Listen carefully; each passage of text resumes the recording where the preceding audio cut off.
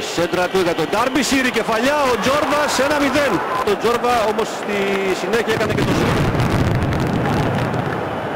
Έγινε το 1-0 για τον Ολυμπιακό. Εδώ από το γέμισμα του Λούα Λούα και την ε, πρώτη κεφαλιά του Ντάρμπι στη συνέχεια το σουτ. 1-0 στο 67.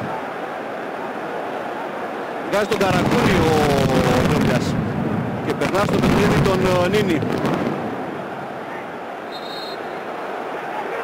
Και παίρνει κάρτα ο Ντάρμπισιρ.